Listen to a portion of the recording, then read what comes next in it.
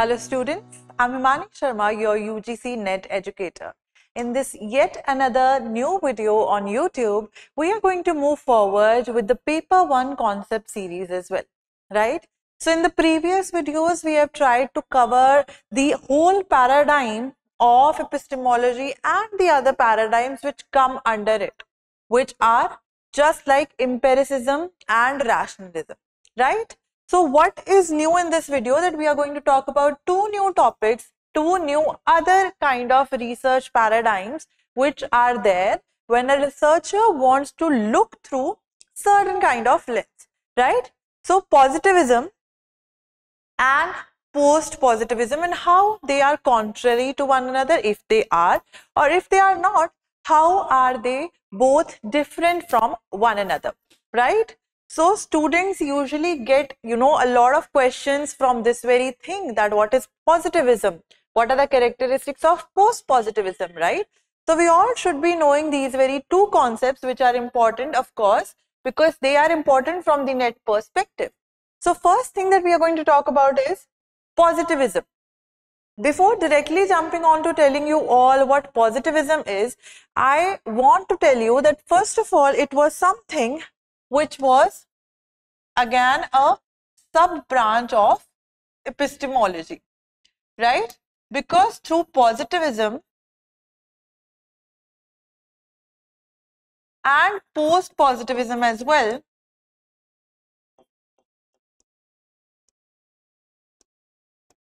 we try to learn, we try to know certain things altogether, right? So basically, if we want to know certain things, if we want to know the reality of somewhere or the other, we have talked about that as well in empiricism and rationalism as well. That is also a sub branch of epistemology, right? So a subtype, positivism and post-positivism. Now giving you all a brief idea about how it evolved basically. Years, years back, people used to believe in God. People used to have this firm belief in theology, right? They used to think whatever is happening around us, it's happening because of God, right? In India, in Hinduism, we usually say, we usually used to say basically, ki Indradev khush hai, Indradev is happy, that's why it's raining.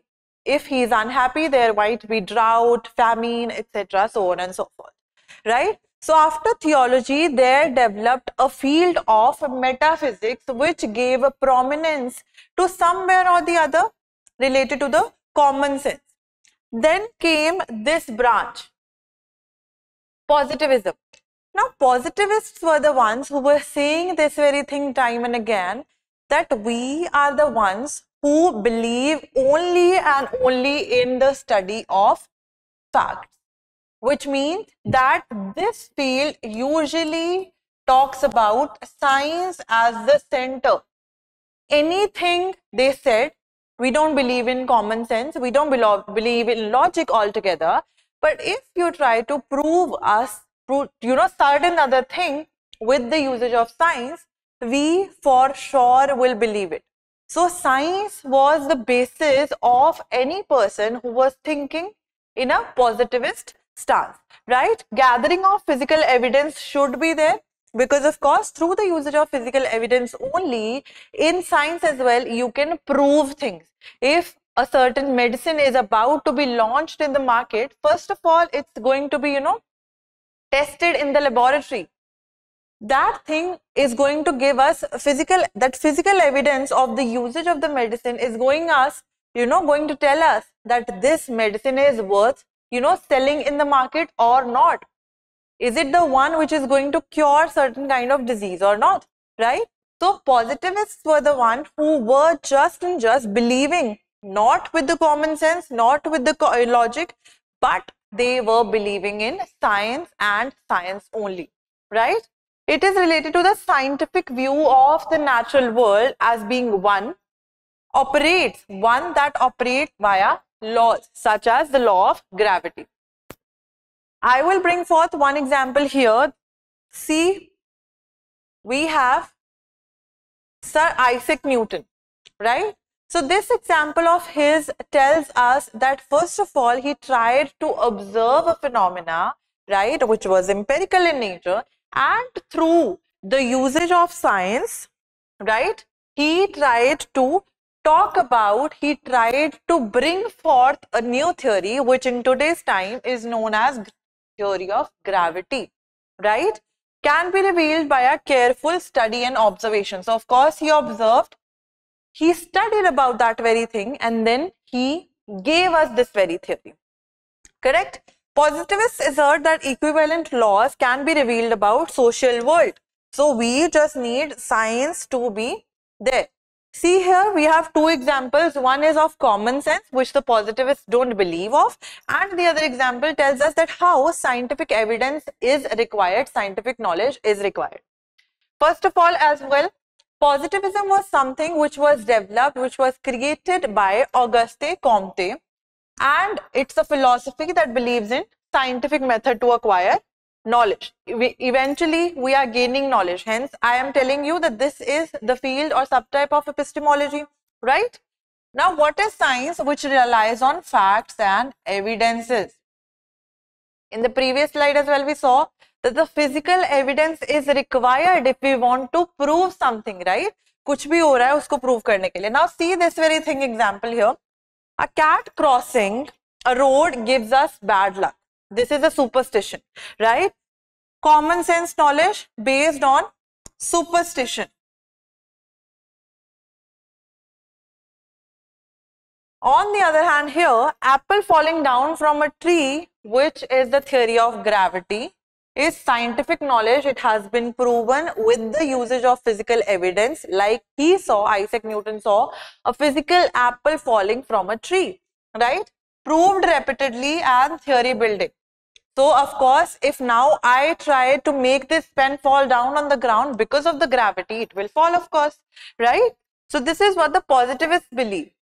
So it was 19th century model of the physical sciences which believes in true and objective reality, which gives us one thing here that they believe in the universality of nature.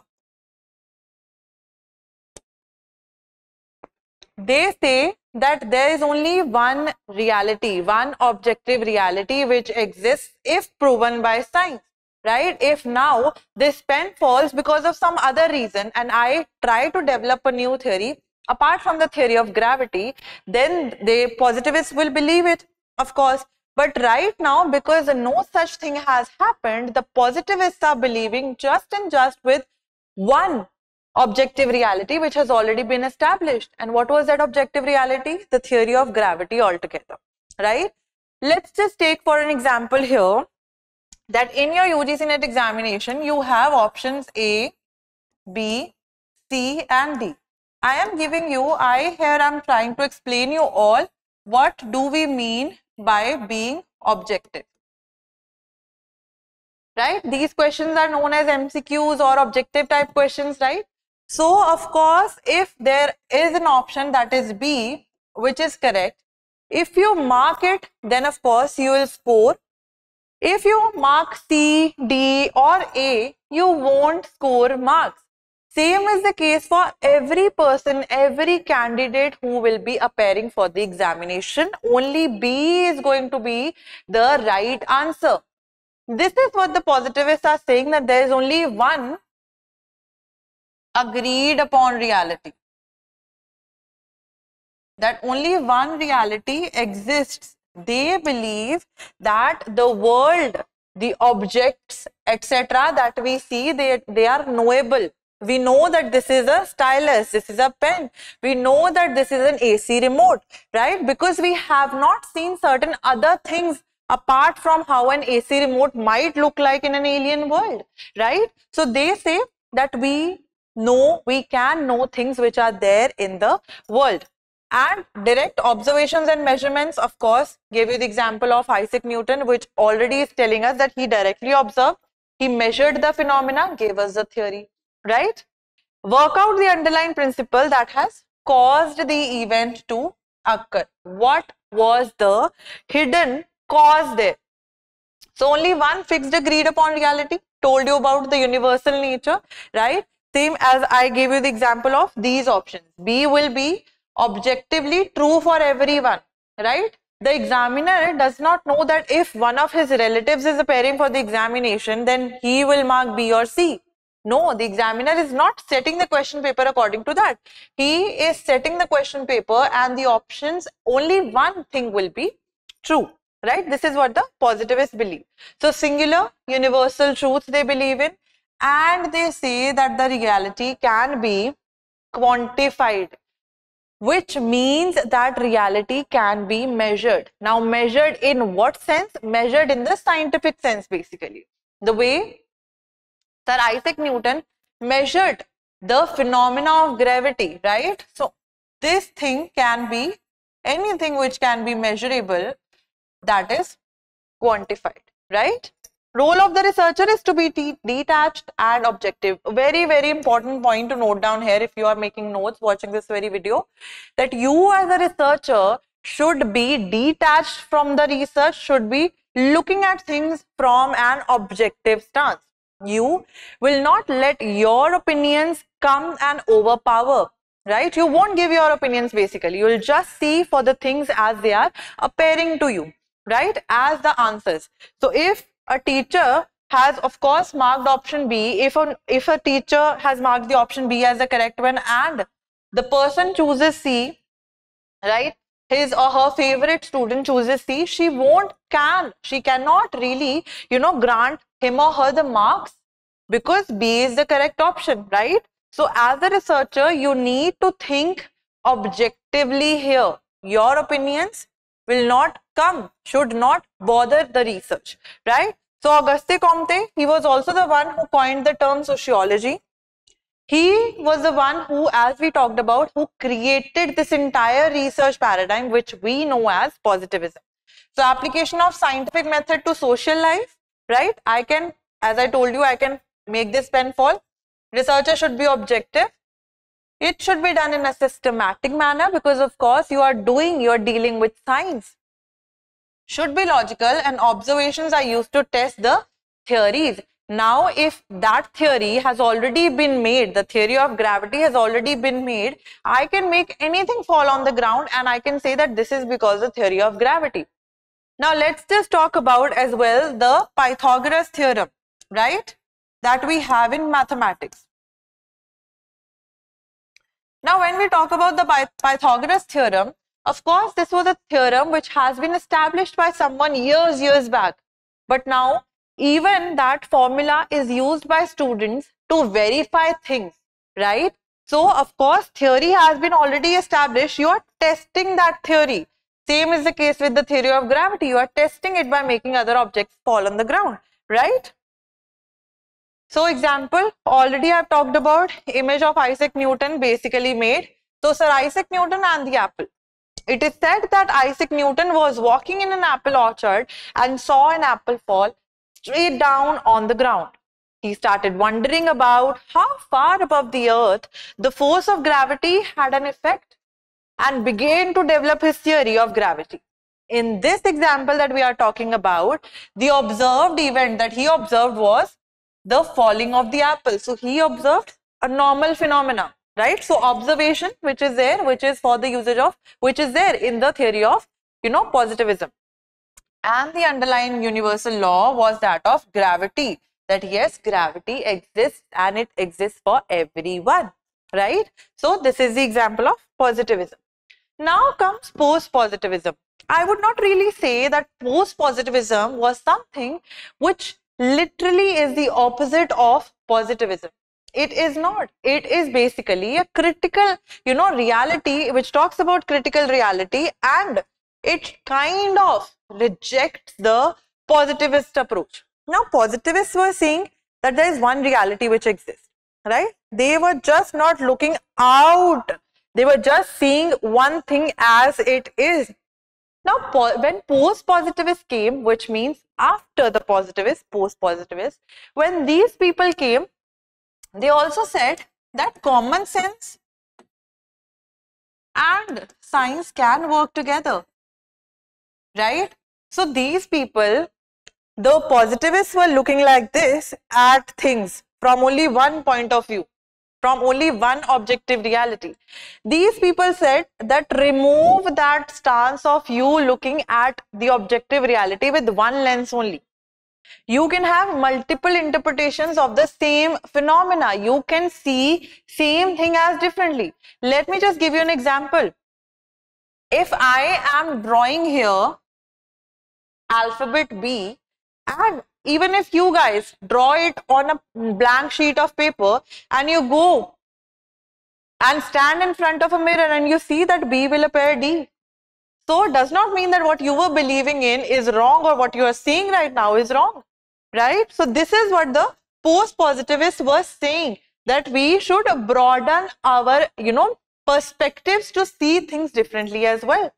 They argue that the ideas and even a particular identity of a researcher influence what they observe and therefore impact upon what they conclude which means that how it is in the you know in a parallel in opposite to positivism that these people were saying if a researcher has his or her point of views while doing research he can have those very things. He can think from his or her own perspective as well right? So it was result of the criticism of positivism, not the entire rejection of positivist ideas. They are not totally rejecting the ideas. Now they are saying how it is opposite from the positivist stance that these people are saying that the world may not be knowable.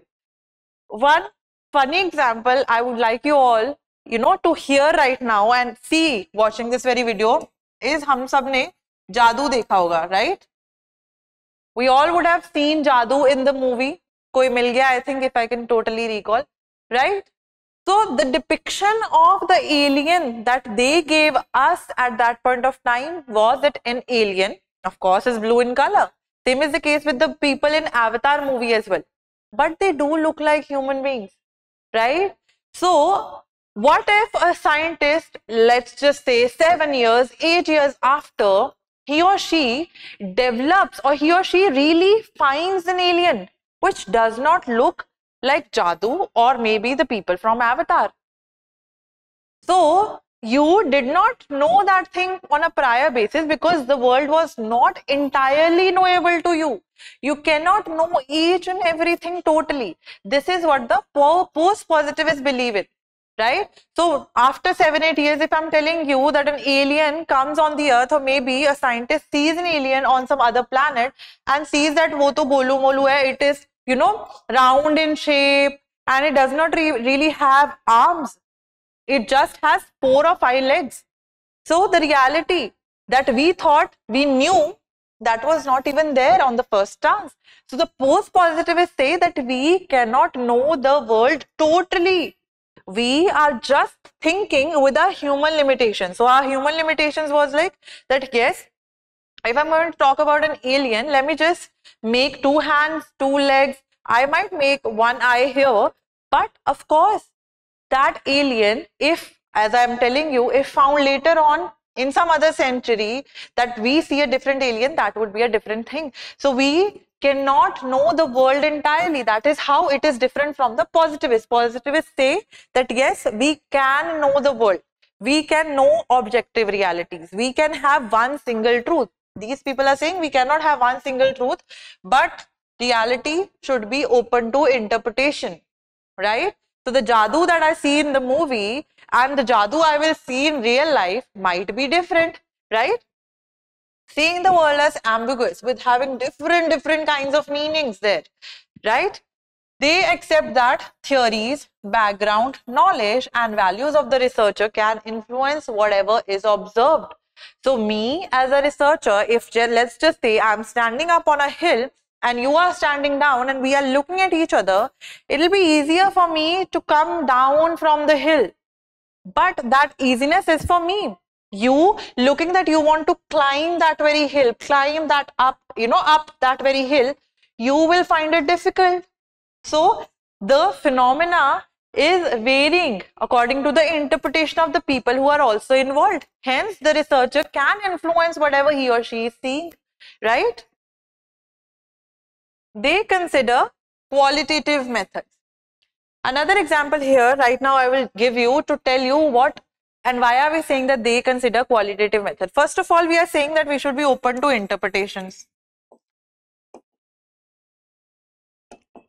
Right? Second of all, we are also saying that reality is complex. Correct? We cannot know certain things, which means that we can be open. Now, if I ask you what is happiness for you, some people might have a different answer that you know, eating with my parents, right? Some might say that I want to roam with my friends and that is the one thing that makes me happy. So every person is having a subjective description of what they believe in. And whenever and time and again, whenever we'll talk about qualitative research or qualitative methods, qualitative methods are always and always subjective subjective types answer you also you were you know writing in your masters as well so these were the answers which were descriptive in nature. So of course subjective hai so it means that qualitative it will be qualitative in nature. For example another example here if you ask a group of students who are late comers in your class for the reason that why are you late they will have different different you know explanation for the same question. What is that? That is the subjectivity that every student is providing you with, the interpretation of the same question. If I ask a person to think of a pen right now, I ask you all, whosoever is watching the video, some might think of a gel pen, some might think of a ball pen, some might think of a blue, green, red, black pen, so on and so forth. Right? A pilot pen for that matter. Right? So what are you doing? You are interpreting as a researcher you can make your own observations. You can let the reality get affected by how you believe right? They believe that the traditional gap between the researcher and the research is one that can and should be diminished. Jisko we should be erasing. Now there's this you know differentiation that i have brought forth for you to make it easier for you all and i would like you all to note this thing down Positivists, because of the fact that they were time and again believing in science, and these people, post-positivists, were believing in science plus common sense. So, of course, if we try to prove a theory that is deductive, we already have an existing theory, we just want to prove it. Gave you the example of Pythagoras theorem. You have the formula of the Pythagoras theorem, but you are going to prove it through the sum that you have in your mathematics key book, right? On the other hand, here in post-positivist, we can develop a theory. I can develop, that is what is known as inductive method, right? This is quantitative, already talked about because of the fact that it is objective in nature. Already gave you the idea that whenever we'll see the word quantitative, it means that objectivity will be there.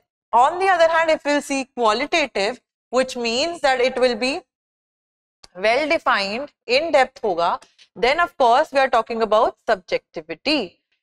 Here, we know things certainly. We have one universal truth, right? The concept of absolute reality because agreed upon reality, one truth we know that there is there. Here, we see probability should be there it can be the alien if the scientist finds him in say you know seven eight years later on the alien might look like jadoo or it might not. So probability we have a 50 50 chance of the things we believe to be true or not. Here we believe things through we prove things through science. Here we are discovering we are trying to find things through various various you know interpretations which are subjective here we use probability sampling and there we use non-probability sampling. Correct? I will bring other video where we will be discussing why non-probability and why probability sampling are used in positivism or post-positivism. Here it is structured and controlled. Whenever we'll talk about anything being objective, objective type questions are usually structured and they are controlled. The same question is asked by different different people to different different people. If 50 students are there and i'm taking a test the 10 questions that i have in one question paper same question paper with the same questions will be distributed to those 50 students. Hence that is structured and that is controlled. Talking about the post-positivist stance, it is unstructured because if I ask someone that I already gave you the example of what is happiness for you, if they say I like watching movies with my parents, what kind of movies? So the questions might vary according to the answers that are being provided to me. So unstructured approach is there and hence it is uncontrolled. One point is left here that why do we say that positivists believe in absolute reality? Because of the universal phenomena that they have given us that objectively we think that there is only one reality which exists. Here we think of the critical reality may, may not, right? Things can change in the future. We don't know the truth. We don't know the world entirely. That is how these two are different from one another. Now, questions for you all. First question, you can pause your screens and try to answer by looking at these questions. In the post-positivistic approach to research, which of the following types of research got emphasized? The answer to this question is option C, that is B, C and E. Phenomenological approach, which is based on the experiences, the lived experiences of people. And if I be asking the same question as we were asking the latecomers, right? Of course, they were providing me with their experiences. They were late because Papa ki gaadi kharab ho gayi. They were late because they could not wake up early in the morning. So every person will have their own different different experiences. That is what we know as phenomenological approach. And when they will have their subjective interpretation in ethnographic, in action research, etc., these types of research are qualitative in nature. Right? Ethnography, the research based on culture. Action research, we try to find solutions, right, to certain things which are there by acting, learning by doing, right? So these three things are subjective as well as qualitative in nature. Hence, the question was post-positivistic approach we can apply. The other two here, we are measuring things. Here as well in ex post facto, we are measuring the effect, the causes which has already been there. We are trying to find the causes in ex post facto, right? So these two things are quantifiable. But the question here asks is post-positivist. Post-positivist uses qualitative, subjective approach. Hence, these two options are incorrect because they are quantifiable in terms. Next question. Which of the following are included in the positivist paradigm of research? The answer to this question is option A. Positivist. Now, one question was about post-positivism. This question is about positivist. So, of course, a, that it is quantifiable. Positivism we quantify things, we can quantify things. And if quantification is there, of course, objectivity will be there. Right? A, C ho gaya. B, construction of hypothesis. Because you already have the theory, now you are going to test it. You are going to test, make your hypothesis. That is done in the positivist approach. Right? So this is what we were all supposed to do and clear out the confusion in the fuss between positivism and post-positivism. I'll try to bring certain other things, certain other concepts which are important from the examination point of view. You all stay tuned and keep on studying as the examination might approach near, right? I'll see you again. Thank you so much and have a good day.